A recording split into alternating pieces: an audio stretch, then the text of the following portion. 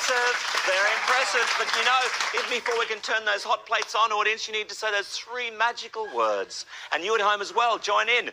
Ready, steady, cook. Great job, audience. And they're off and running. Now for Melissa and Alistair on the tomato side, the featured carpaccio with the whipped feta, pine nuts, and lucky oil.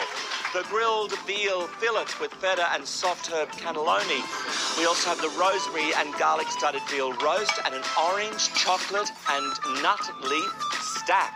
And on the capsicum side with Shane and Joanne there, they're going to be cooking for us the soya seared ocean trout with an Asian inspired coleslaw, the cucumber and ocean trout ceviche, the lemon and coriander crushed potatoes, and the mixed berry meringue stacks with rose water cream. Who'd have thought? How lovely. It's lovely, isn't it? Such a lovely, yes, rose water cream. Rosewater cream is beautiful. You stay tuned, everyone, because we've got lots coming up. It's just the start of the section. See you back here soon.